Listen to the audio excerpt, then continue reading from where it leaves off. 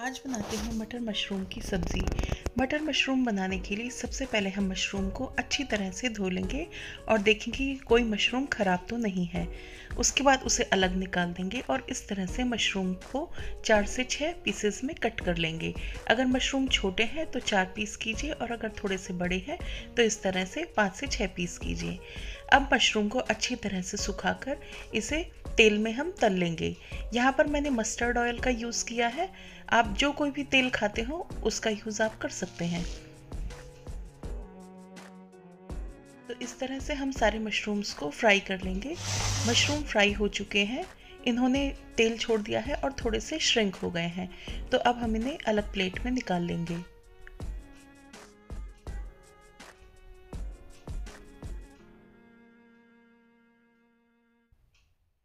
Mushroom हमने निकाल लिए हैं। अब कढ़ाई में जितना भी ऑयल बचा हुआ है, ये थोड़ा सा ज़्यादा है तो मैं एक चम्मच तेल निकाल रही हूँ और बचे हुए तेल में हम थोड़े से खड़े मसाले डालेंगे। यहाँ पर मैंने एक तेज पत्ता पाँच से छः काली मिर्च, दो लौंग, एक दालचीनी का टुकड़ा और एक बड़ी इलायची और एक छोटी इलायची ली है।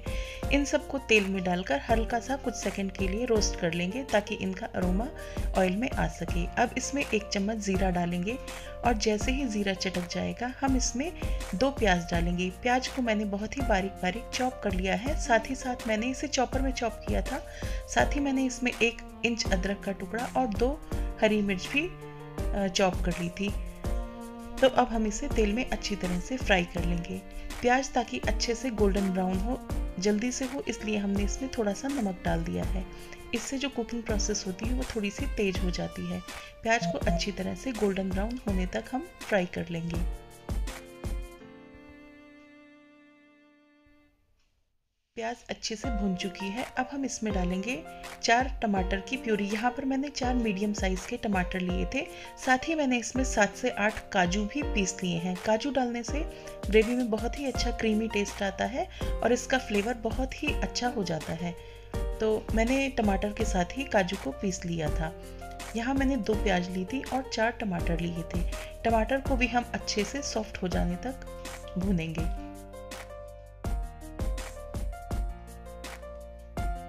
टमाटर को हमें तब तक भूनना है जब तक ये ऑयल ना छोड़ने लगे और अच्छी तरह से भून ना जाए।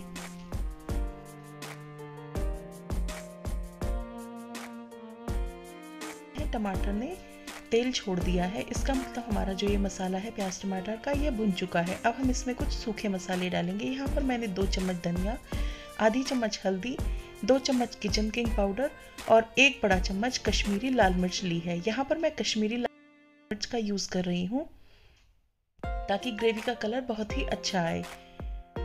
मसाले को थोड़ा सा तीखापन देने के लिए पहले मैंने इसमें दो हरी मिर्च डाल दी थी तो इसलिए मैं यहाँ पर कश्मीरी मिर्च का यूज़ कर रही हूँ। आपके पास जो भी मिर्च हो, आप वो यूज़ कर सकते हैं। अब हम इसमें डालेंगे दो कप उबली हुई मटर। यहाँ पर मैं क्योंकि ये ग्रेवी कढ़ाई में बना रही हूँ तो मैंने उबली हुई मटर का इस्तेमाल किया है। अगर आप कुकर में बना रहे हैं ये ग्रेवी तो आप कच्ची मटर का भी इस्तेमाल कर सकते हैं। और कुकर में बस दो सीटी लगाएँगे तो मटर और मशरूम अच्छी तरह से गल जाएँगे। तो हम मटर को भी मसाले में अच्छी तरह से भून लेंगे। लगभग एक से दो मिनट मटर को भी हम मसाले में अच्छी तरह से भून लेंगे और अब हम इसमें मशरूम को डालेंगे, जो कि हमने फ्राई कर कर रख लिए थे। तो मशरूम को भी इस मसाले में अच्छी तरह कोट करेंगे। पानी डालेंगे। यहाँ पर मैंने एक कप पानी का इस्तेमाल किया है। मुझे थोड़ा सा ग्रेवी गाढ़ी चाहिए, इसीलिए मैंने इसमें थोड़ा सा कम पानी डाला है। अगर आपको थोड़ी सी तरी वाली ग्रेवी चाहिए तो आप इसमें थोड़ा सा पानी और बढ़ा सकते हैं।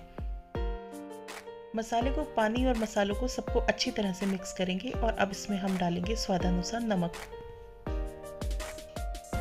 यहाँ पर मैंने डेढ़ चम्मच नमक डाला है। इसे भी अच्छी तरह से मिक्स कर लेंगे।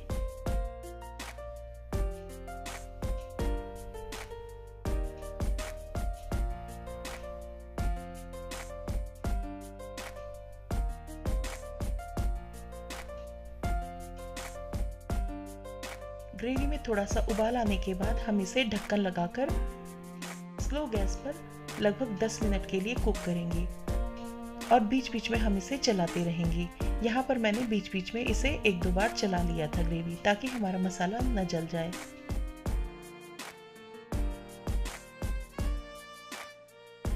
अब हम इसमें कसूरी मेथी डालेंगे। कसूरी मेथी को थोड़ा सा क्रश कर कर डालेंगे, जिससे इसका फ्लेवर बहुत ही अच्छा आता है।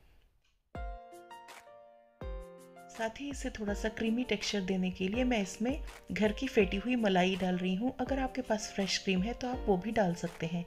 इससे एक बहुत ही अच्छा क्रीमी सा और एक रिच फ्लेवर आएगा। आप चाहें तो इसमें आधा चम्मच चीनी का भी डाल सकते हैं। यहाँ पर मैंने चीनी नहीं डाली है। मैंने उस समय तो डालना मैं भूल गई थी, लेकिन मैंने बाद में चीनी डाली थी, जो कि कैमरे में शूट नहीं हुआ है। चीनी हमेशा फ्लेवर्स को इन्हेंस करने का काम करती है, इसलिए हमने आधी चम्मच चीनी भी मैंने इसमें डाली थी अब इसमें डालेंगे गरम मसाला, जो कि हम आधी चम्मच डालेंगे और हरा धनिया डालेंगे और इसे अच्छी तरह से मिक्स करेंगे ताकि सारे फ्लेवर्स आपस में अच्छे से मिलजुल जाएँ। हमारी सब्ज़ी बनकर तैयार है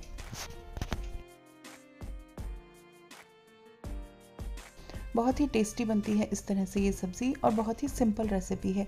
आप भी इस रेसिपी को ज़रूर ट्राई कीजिए और अगर रेसिपी पसंद आई हो तो वीडियो को लाइक और शेयर करना ना भूलें। साथ ही चैनल को सब्सक्राइब कर लें ताकि मेरे सारे नए वीडियोस का नोटिफिकेशन आपके पास आ जाए और आप मेरे सारे वीडियोस को देख पाएँ। फिर मिलते हैं नई रेसिपी के साथ। Till then take care and bye